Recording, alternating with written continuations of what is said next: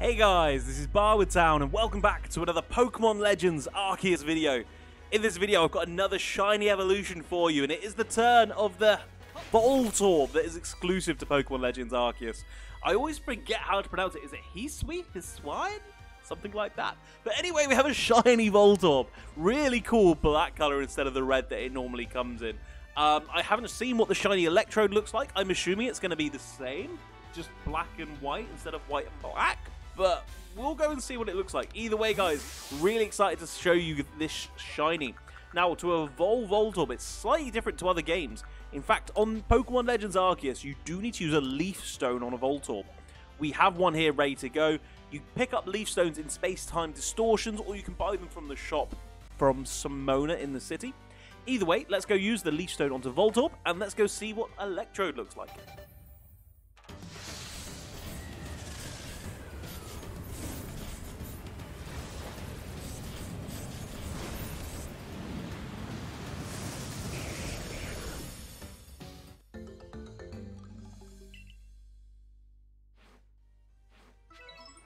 And there we have it, guys. We have our shiny Electrode. And oh my god, it looks so cool. I love what they did on this game with the Voltorb and, uh, and Electrodes, the wooden look that they have.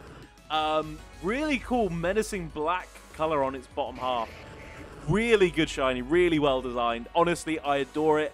So glad I've got it.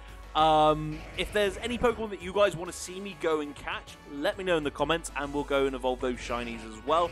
Otherwise, if you'd like the content, by all means like or sub. It does mean the world. It lets me know that you like the content. Otherwise, guys, just have an amazing day and I'll catch you in the next video. Bye, guys.